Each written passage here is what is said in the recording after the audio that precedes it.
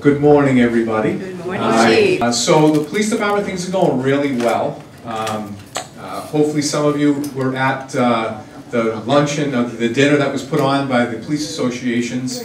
Uh, It was very well received. Uh, Thank you for that, for giving us that opportunity.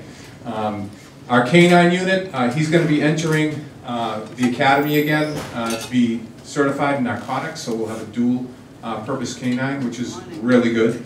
Um, One of our uh, participants here advised me that we, just so everyone knows, I guess there was uh, West Nile um, out in the Boston area, so, you know, be aware of that. One mosquito. One mosquito tested positive for West Nile, so just something to be aware of.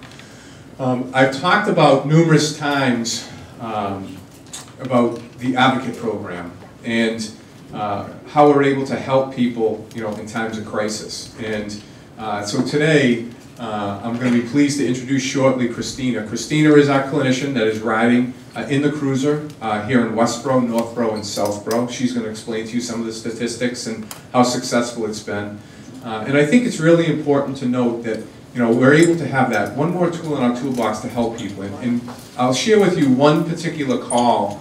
Uh, chief Paulhus, the Southborough Police Chief, sent me a nice email they had an incident, uh, a juvenile with a knife, and the officers were able to handle that call, uh, and were able to get uh, this young person the help that they needed, and there were no injuries to anyone, which is great, and I thank advocates for providing us with de-escalation training for our officers, which is very important, very critical. Uh, But what's really special about this is when the officers have to go on certain calls, and there are other things they have to do, and paperwork that has to be completed, we have Christina there to deal with the family, to deal with mom, to deal with siblings, this very critical incident that they've had to deal with, stressful incident. So I think that's a really important piece we need to realize, that it's not just about the person in crisis we're trying to help, but it's also about their support system and their family, uh, making sure that they have the resources they need. And the last thing, you know, I'll remind people of is, you know, we want to prevent, you know, victimization and be safe. So we're going to be creating a crime prevention program very shortly with Officer Jeff Johnson.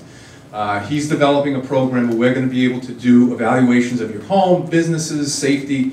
Uh, So I'll be rolling that out soon, so hopefully you can take advantage of that, and we'll, we'll bring Jeff in, Officer Johnson in soon to explain what he's going to be accomplishing. So a lot of exciting things are going to be happening. Uh, A lot of it does hinge on us moving back downtown to Forbes. I've been told it's been pushed back again into September, Uh, but it's going to happen. And I'll be inviting all of you for an open house when that does happen uh, hopefully September to early October at this point.